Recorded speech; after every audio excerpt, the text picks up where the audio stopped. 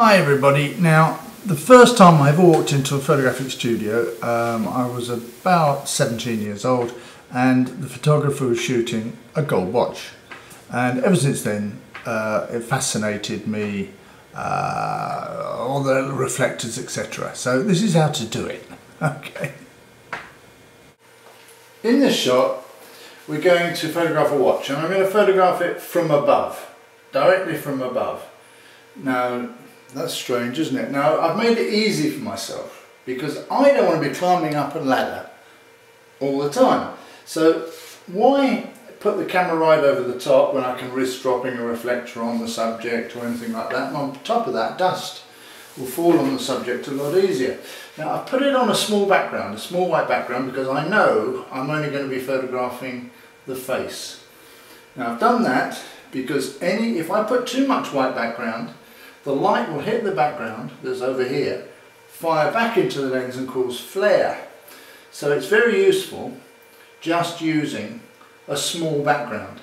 So we've got two advantages. One, I don't have to climb up on a ladder. Um, I once did this with a car when I was photographing it. Um, instead of lying on the floor, I put the car on a table, um, like this. But anyway, this now is a watch. So uh, I don't have to climb a ladder. So we'll get on with it like that.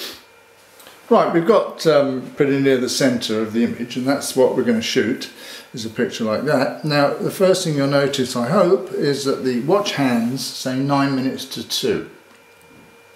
Well, that's tradition to make a nice little frame for the name. The second hand uh, would probably be around 29. You see what's happening now, the second hand is making a line, um, but that's not very nice. It would, I'd normally put it lower, but as it's a, a watch I got out of a, a, drawer, it's been around for ages, um, I haven't got a battery in it, so I can't move that. But anyway, I'd normally have it around 28 seconds past the hour.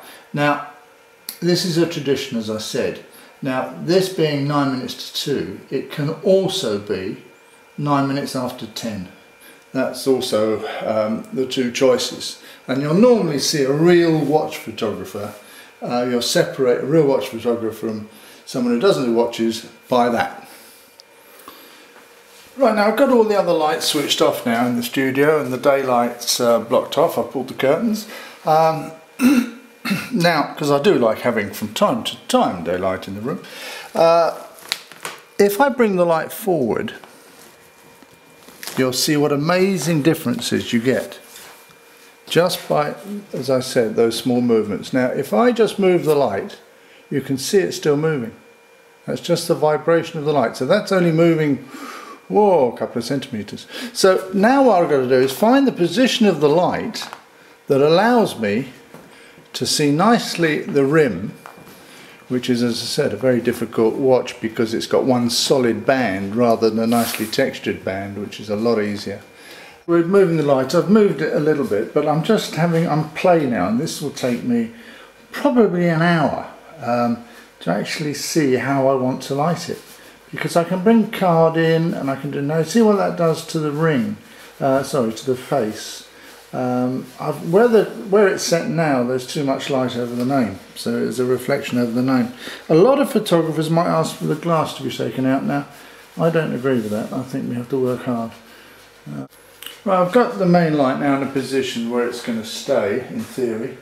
Um, the reason is it's got a nice little reflection right across the glass and it brings out the little uh, medallion at uh, 12 o'clock and I think it's a base that I can work for uh, from then on. So I'll get on and light it and then show you at the end uh, how it's lit.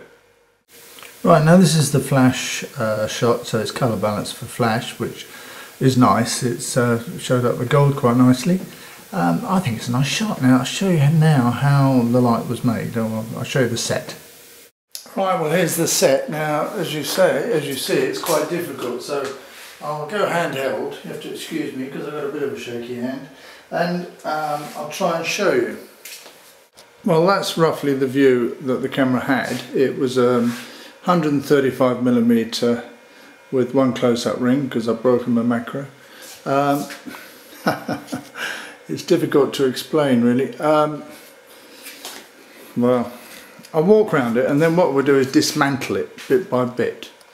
Right, this is a view from, uh, uh, well, you can see the box and the watch is the other side of the box. And there are odd bits of black card and there are odd bits of white card. Um, again from the other angle.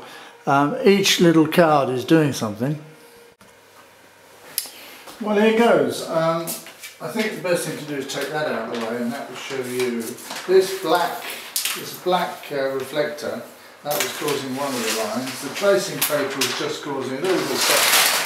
Oh, a bit of softness what I want. This was causing uh, the reflection that came down there.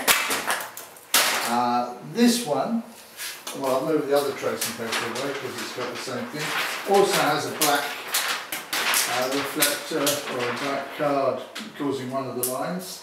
This one is causing the reflection that's across there and this one is causing the reflection that was at the bottom and of course you know about the main light. So all that takes a bit of time to organise but yeah, not a bad result. Well, I hope you enjoyed that. Um, if you've got lots of gold watches, now you know how to photograph them. okay, bye. See you soon. Don't forget to subscribe.